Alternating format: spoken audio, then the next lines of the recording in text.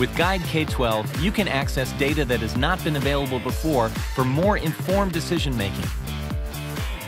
One of the pieces that I've never been able to do with our current student information system was to be able to pull it out to look at data visually on a map in a geographic format.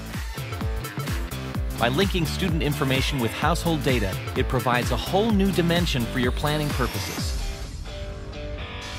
Now you can easily create what-if scenarios and obtain instant results for critical issues such as reassigning an enrollment area or opening and closing schools. Just choose the population and select the new attendance school. You will immediately understand the impact of the scenario you have built.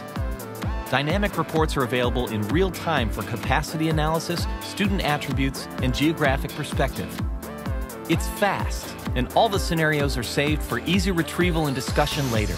Even the logic to build them is saved. Or you may need to understand the financial implication of school choice in your district. Select the student characteristics you want to see mapped. You will instantly see a profile of your selected area. Where do students live? Where do they attend? A few clicks and all that information is at your fingertips. With Guide K-12, simply select an attribute of your student population and see it come to life in just seconds. Perhaps you want to review where next year's sixth graders live to forecast middle school capacity. Point and click and see the changes in real time. More insightful decisions drive improved forecasting, capacity planning, and boundary discussions. Guide K-12 helps ensure that the whole range of academic needs of students are understood and resourced properly. You don't need a technical degree to quickly master this easy-to-use web-based tool, all backed with dynamic reports for smart decision-making.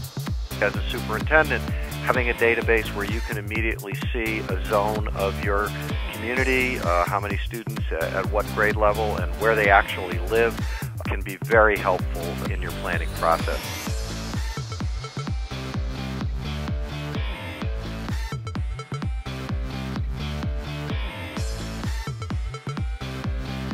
Guide K-12. Visualize, analyze, predict.